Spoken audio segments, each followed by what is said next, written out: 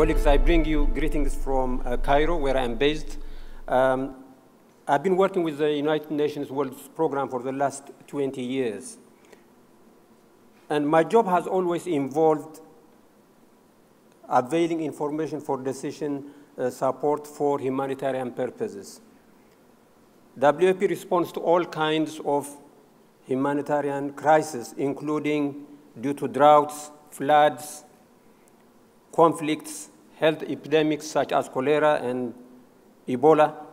Now, such disasters not only cause humanitarian suffering, but also destroy opportunities for sustainable development. To prevent humanitarian crisis and ensure timely response, we need data and analytical tools that create early warning systems, vulnerability analysis, needs assessments, targeting and impact analysis. And as a result of my responsibility, I have been involved in various innovation on data generation, collection, and development of analytical tools and applications. It is in this context that I came to know and collaborate with the use of geospatial tools. Let me take this opportunity to acknowledge and appreciate uh, Jack for his efforts to provide affordable access to geospatial tools and applications for humanitarian purposes. This has enhanced our ability to respond to emergencies. It is also critically important that geospatial tools are used for addressing the SDGs in which all national governments have committed to achieve. Here are the, uh, the sustainable development goals that every person in the world has agreed to achieve. And we need to change gears in order to achieve these SDGs using all the available uh, structures. Now, however, national governments, particularly in developing countries, are not readily adopting the use of geospatial data and tools in their national planning decision-making processes. The key challenge for governments, institutions of not adopting such, such data to be, uh, can be summarized as follows. One, they are conscious and, and they have concerns about data security and lack of trust in the proposed systems. They perceive the geospatial data tools are too expensive for governments to use. They may lack of technical staff as there is limited investment in training as well. And there is ad hoc usage of data and uncoordinated approach to governments by the various technology providers. And such systems are not integrated into national, regional, and continental systems. As a result, these systems are not prioritized nor included in national budgets and hence remain outside national systems. The good news is that all the challenges indicated above can be addressed and become opportunities. I will share with you our experience in Egypt. Here is what we did. First, we established a public-private partnership that can facilitate the work. Then map out all the relevant institutions and government systems.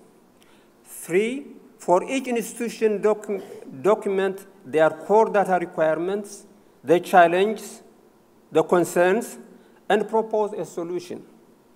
Four, select a pilot institution where this model could be implemented. Five, build a strategy to upscale the good practices to other institutions in the country. Now let me take you through several slides showing practical examples of what we did in, in Egypt. First, we established a public-private partnership with uh, ESRI NEA. Uh, thank you, colleagues from ESRI, NEPAD, and the WFP.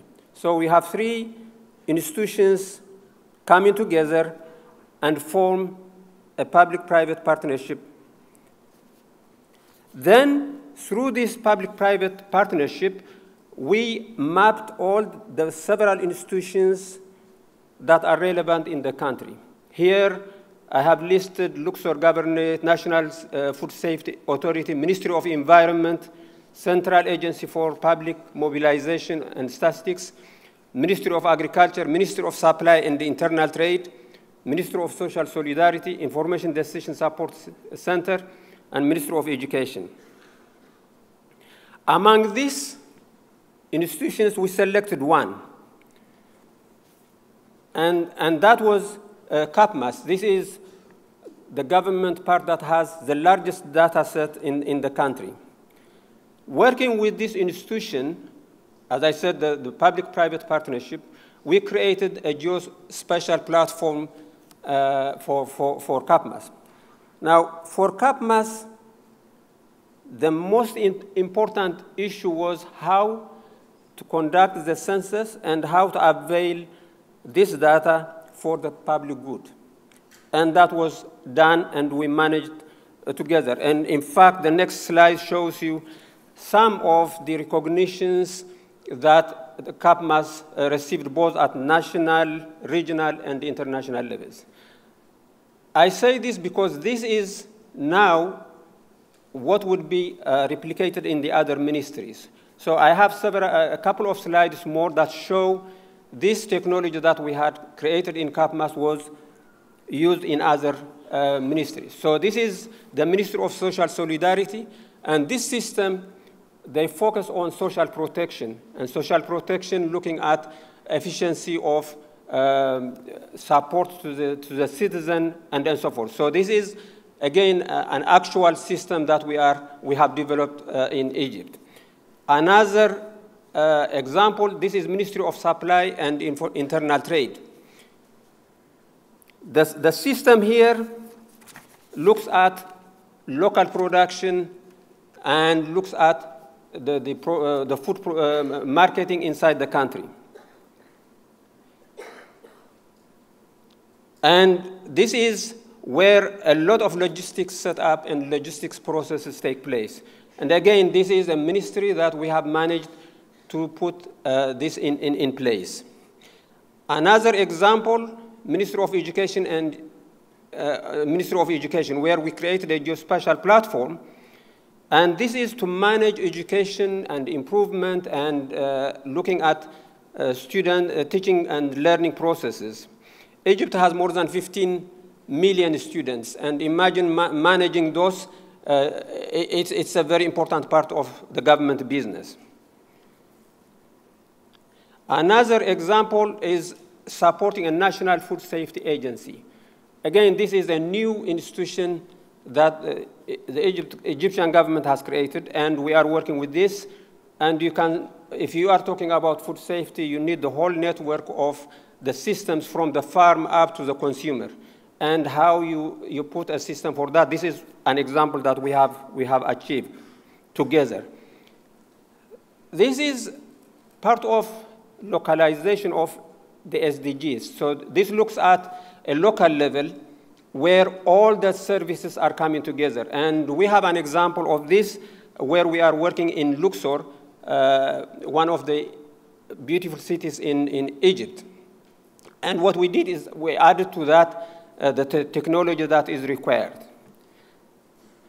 Now, with all this, uh, we have learned a lot, and we would like to share this outside of Egypt and with the rest of the African continent. So this, this is the link where uh, we want to go forward. And, and replicating this, what we are putting in place is the Egyptian government, uh, NEPAD African Union, the World Food Program, and ESRI working together, we are moving into addressing uh, this in other countries. Um, here, you have an African Union at continental level. You have regional institutions, North Africa, West Africa, Southern Africa, East Africa. And at national level, you have Egypt and other countries that will be determined. And as institutions, our example was CAPMAS, then we will identify other institutions in other countries.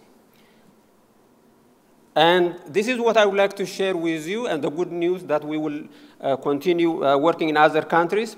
Um, just one uh, announcement that Egypt and WFP are signing an agreement on establishing a South-South cooperation platform and coordination mechanism for Africa in Egypt. So everyone who wants to support and join us, uh, you are welcome. Thank you.